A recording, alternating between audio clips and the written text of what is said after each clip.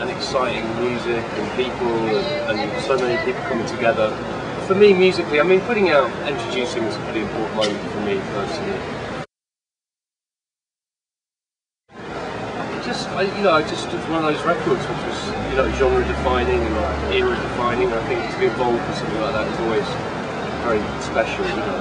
And I just remember when I first got that record and when it was first finished, feeling, hearing it for the first time, all those things is really, really special. I, I, I had no idea in those days what records were going to sell or any of that. Well, later on, I was always disappointed with what happened with South. I always thought that first record should have done better than it did. Um, there were a lot of records that came out. There was lots of, there was so much going on at the time that it was, it was, you know, it was, it was, we always felt a little bit like we were kind of a bit of like a guinea pig, you know, like nobody ever quite knew how to market it, sell it.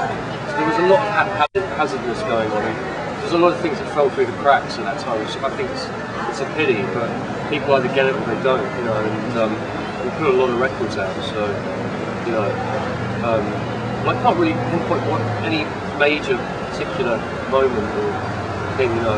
I, I, I, was, you know, I was just happy to be involved in what I was doing. I was so, so into it. I didn't, I, you know, you just put records out because you love the records.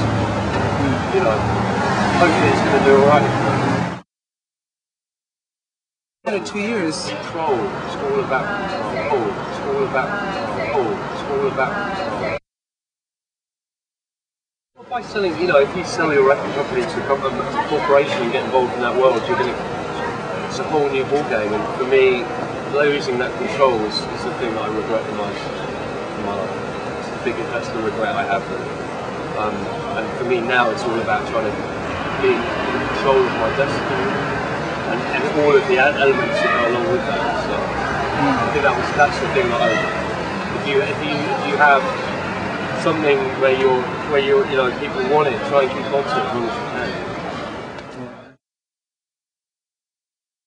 I work with Chris Goss because I'm just a, a, massive fan of what he does. Masters Reality, Queens of the Stone Age, Mark Lanegan, Kyuss.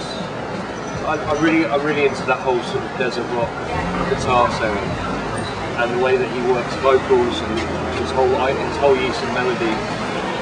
So working with him was a pretty amazing experience and uh, pretty liberating as well because it kind of opened up a lot of doors and ideas. Mm.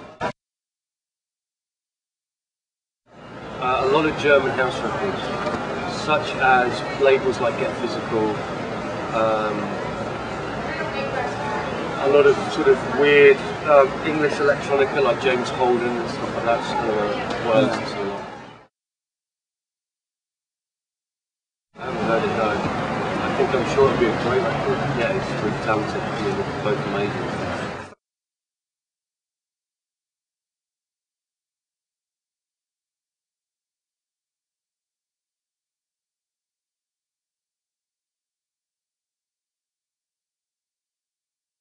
Senhor.